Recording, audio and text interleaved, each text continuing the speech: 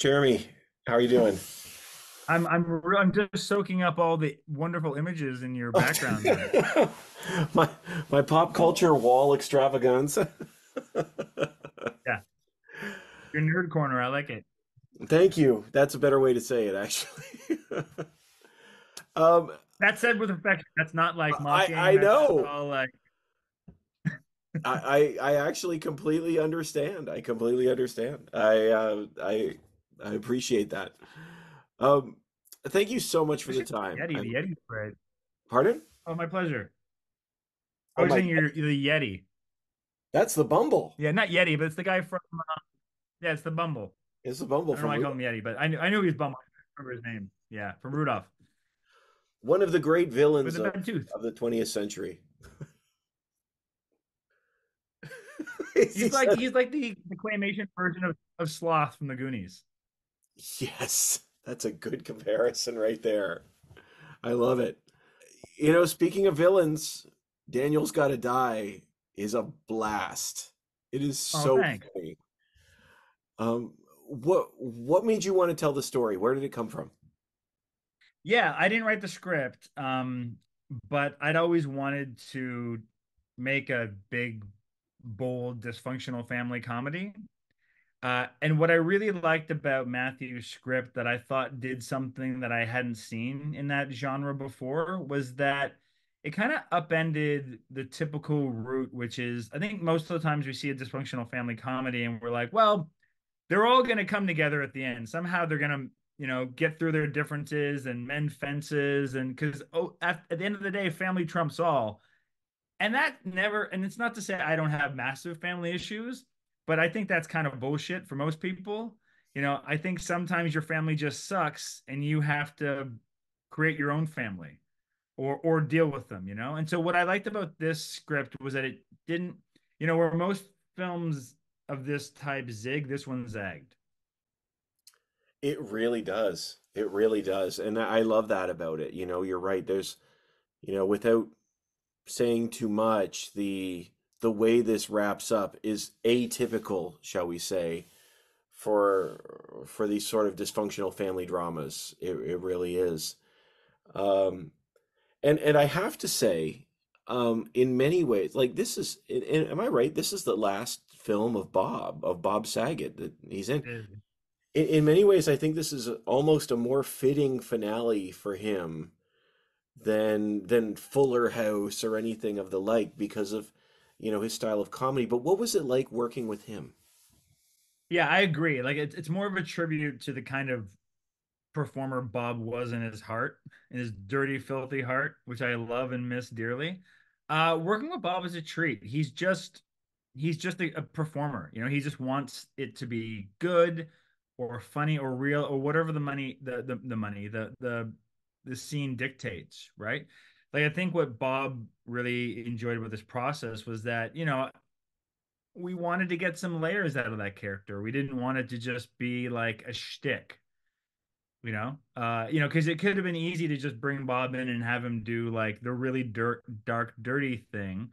But you know, I when I read that part, I thought, well, there's some layers here that I think we can play out, and I think you know we can let Bob do some stuff he might not typically get to do in most projects.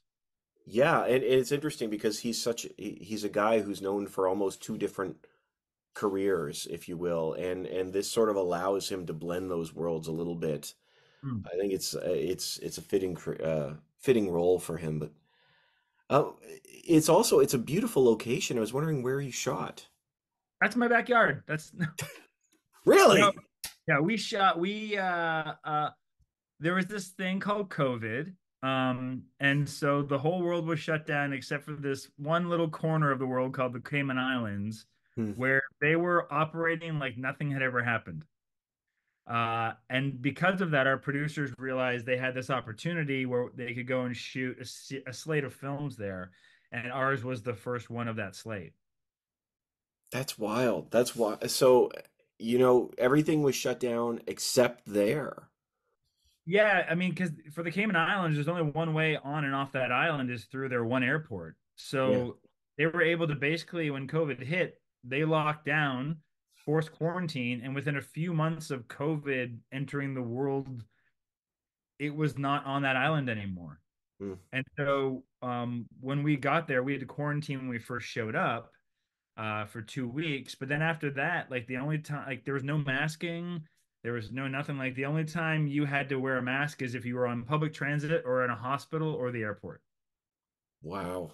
That's like another planet. Um, uh, It was surreal, especially because at that point we COVID had been around for about almost a year. mm. So it was a much it was a it was such a breath of fresh air to be asked. It was like, hey, do you want to go to a tropical paradise for two months and not have to worry about COVID? I'm sure it was hard to get people to sign up for that. I'm sure that, that was a real challenge. Um, you know, I, honestly, like I said, the film is so funny. Um, and and we talked before about dysfunctional family comedies or family dramas or what have you. Um, I was wondering in your mind, why is it such a why is it such a challenge to deal with our families? Why can it be such a difficult thing to to set ourselves apart from them? Oh God, Do- how much time do you have? Enough. Uh, enough. Yeah, I think it's because you know the old adage is you don't get to choose your family.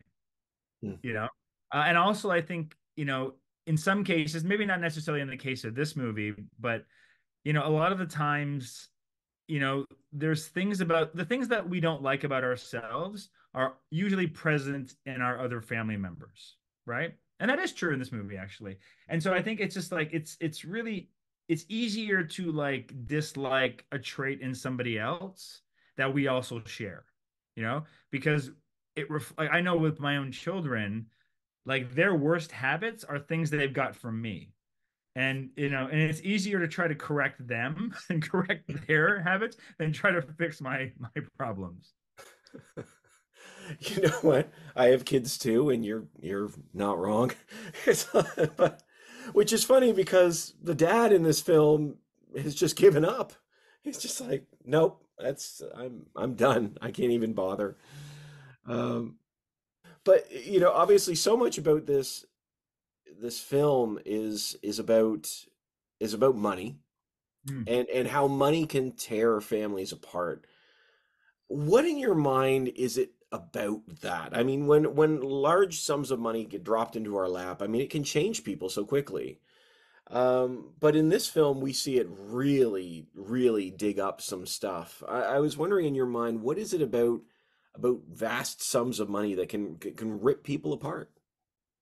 uh, i think it just comes down to the value system Hmm. you know i think that's what separates daniel from his siblings right the money like you know without giving away anything at the end like the money is not really as important to him as connecting with his family is you know? The and that's that's part of the the setup for the, the movie is the fact that he's in control of all the money. He could actually just walk away with it and never have to deal with them again. It's it's his choice to want to go through this process. Of course he doesn't realize they're going to try to kill him over it but you know he could have at the beginning of the movie walked away with this big pile of money but that is not what matters to him you know? And i think we see that in our lives. I think you know the one thing what's the number one regret uh statistically people have when they're on their deathbed isn't i wish i had more money. I wish i spent more time at work. It's i wish i would have spent more time with the people that mattered.